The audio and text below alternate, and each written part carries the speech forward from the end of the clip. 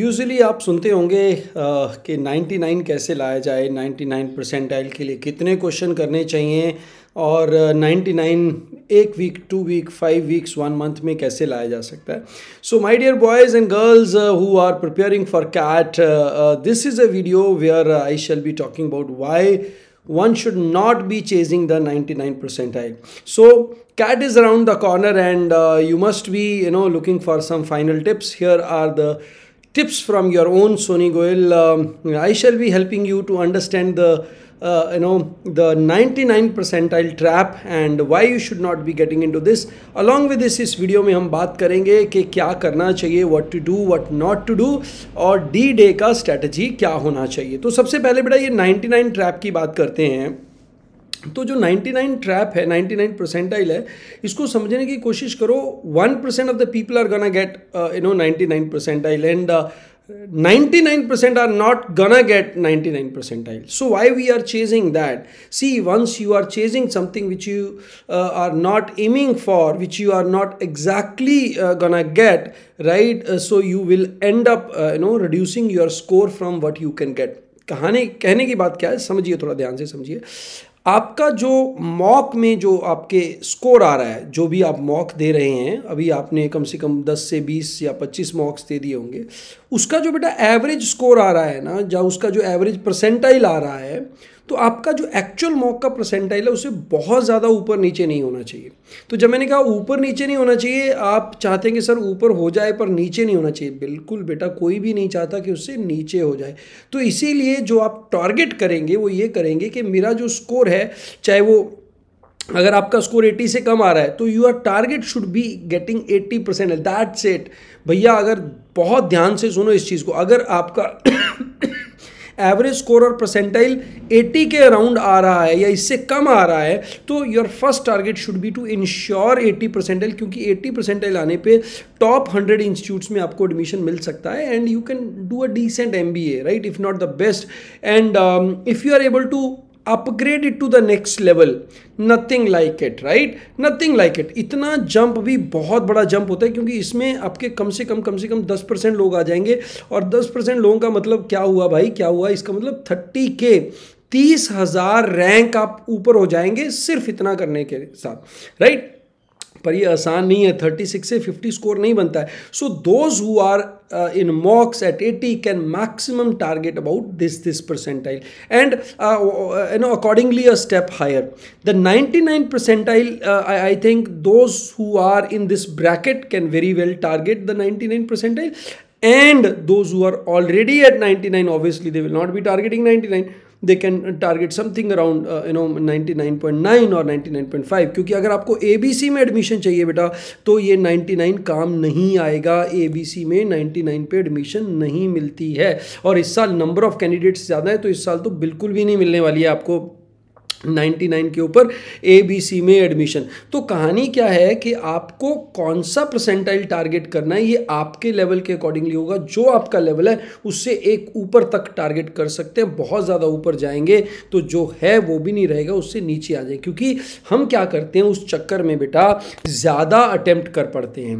Right आपको लग रहा है कि भाई नाइन्टी किसी ने बता दिया, भाई नाइन्टी के लिए थर्टी स्कोर चाहिए। थर्टी स्कोर का मतलब बारह क्वेश्चन ठीक होने चाहिए। अब आपके क्वेश्चन पाँच ही निकले हैं। But five questions can give you very well you know uh, you know this percentile 80 plus percentile. But क्योंकि आप 99 चेज कर रहे हैं you will end up doing ten extra question जो आपको आते नहीं हैं। और इसमें से बहुत ज़्यादा चांसेस हैं कि आपका स्कोर नेगेटिव हो जाएगा। और ये जो 15 पे आपका कट ऑफ़ क्लियर होना था वो भी 10 और 12 रह जाएगा। तो ये बहुत बॉर्डर लाइन के इस पे आ जाएँगे। ठीक है? फाइव क्वेश्चन अगर आपके सही हो गए आप छः सात आठ को टारगेट कर सकते हैं but don't try aim something which is which is for those which is beyond your range right so please don't take it otherwise मेरा बच्चा। मैं आपको, आपके भले के लिए बात कर रहा हूँ कि इस 99 ट्रैप में मत फंसिए right try to get you know score according to your own level और आपका लेवल कौन सा है? जो भाई मॉक्स में आया है। अगर जो 20 मॉक में 30 मॉक में जो आपका लेवल आ रहा है मोर और लेस वही है। ज़्यादा आप करते हैं लेटेस्ट फाइव जो लास्ट फाइव मॉक्स हैं। उसमें भी थोड़ा बहुत प्लस माइनस होता रहता है बट बहुत ज़्यादा चेंज नहीं होगा। ओके अब क्या करना है भाई? लास्ट डेज़ में क्या करना है आपने?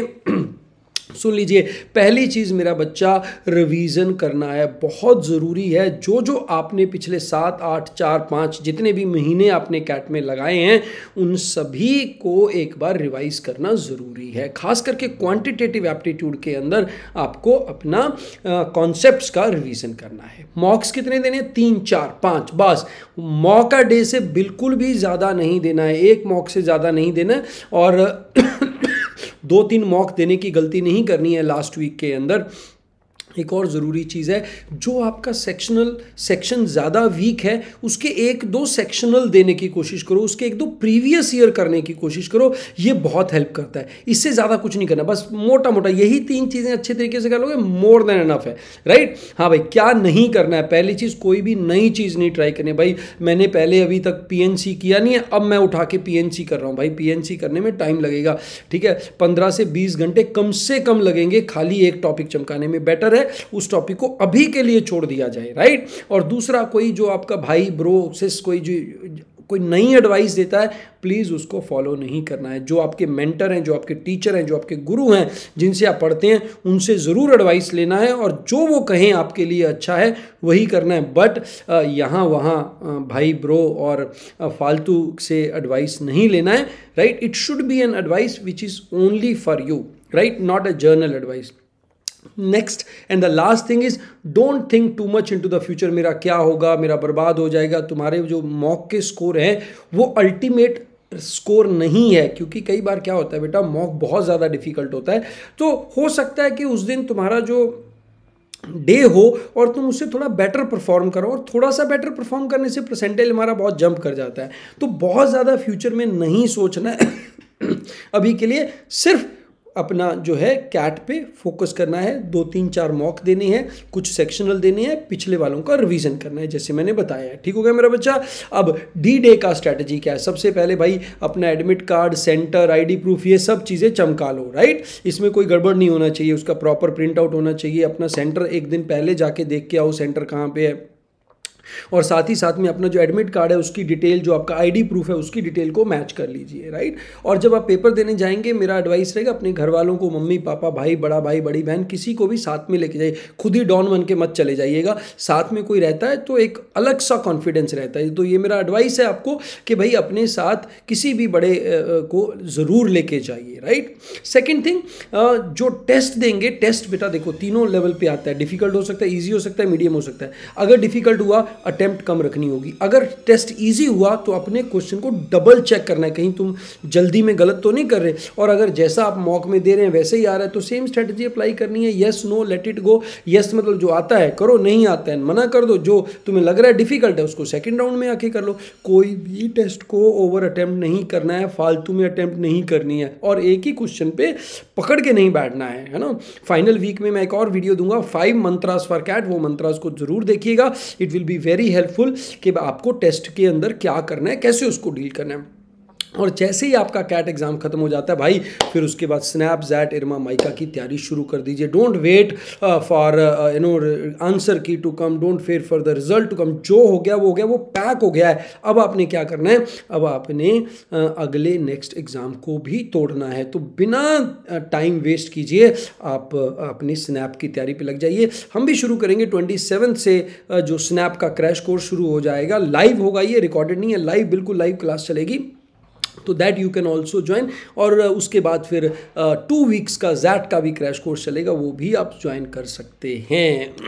ठीक है। तो जो लोगों ने अभी तक ये चैनल को एक्सप्लोर नहीं किया है बेटा जी अगर आप पहली बार ये वीडियो देख रहे हैं या मेरा चैनल पहली बार देख रहे हैं तो प्लीज़ इस चैनल पे वाई टी कैट नाम से कॉन्सेप्ट और प्रैक्टिस के लिए बहुत वीडियोज़ और प्लेलिस्ट हैं उनको एक्सप्लोर कीजिए। जो हाई लेवल प्रैक्टिस करना चाहते हैं उनके लिए हमने कैट शोज़ तीनों एपिसोड्स सॉरी तीनों सीजन्स ओपन कर दिए, वो देखिए। और पंच में मैंने प्रीवियस ईयर क्वेश्चंस को स्लॉट वाइज सॉल्व करवाया हुआ है। उनको भी ज़रूर लगाइए कैट में जाने से पहले। जिनका क्वांट बहुत अच्छा है, उनके लिए मैं बताऊँगा कि कैट शोज़ बहुत अच्छे रहेंगे, बहुत हेल्पफुल रहेंगे। So I hope you enjoyed this video और जो लोग मेरे से वन टू वन बात करना चाहते हैं और हम ये एक छोटा सा सेशन कर रहे हैं सेवन डेज़ टू कैट तो आप भैया नाइनटीन नवंबर जिस दिन इंडिया का वर्ल्ड कप का मैच है फाइनल का, सुबह ग्यारह बजे आप जूम पे आ सकते हैं और जो लिंक दिया हुआ है डिस्क्रिप्शन में, उस पर क्लिक कीजिए रजिस्टर कीजिए फ्री सेशन है और इसमें आप मेरे साथ जो है लाइव जो भी आपके डाउट हैं, कोई भी क्वेरी आ रही है मन के अंदर, वो आप पूछ सकते हैं। मैं अपनी काबिलियत के अकॉर्डिंगली कोशिश करूँगा कि मैं आपके आंसर को बेस्ट से बेस्ट आपके क्वेश्चन को बेस्ट से बेस्ट आंसर करने की कोशिश करूँगा। ठीक है बच्चा लोग? So wish you all the very best जो लास्ट डेज़ हैं कैट के, इनमें बिल्कुल भी पैनिक नहीं होना है। दम लगा के तैयारी करनी है। फिर बताता हूँ क्या करना है। रिवाइज करना है। तीन चार मॉक देने हैं और और और आपने सेक्शनल देना है जो आपका वीक है। आलतू फालतू के ट्रैप में नहीं फंसना है। अपना अपना कैट, अपने कैट के अकॉर्डिंगली तैयारी करनी है। ये वीडियो आपको कैसी लगी? कमेंट में लिख के ज़रूर बताइए। I hope you are liking the content on the channel don't forget to subscribe and recommend it to your friends thank you very much wish you all the very best once again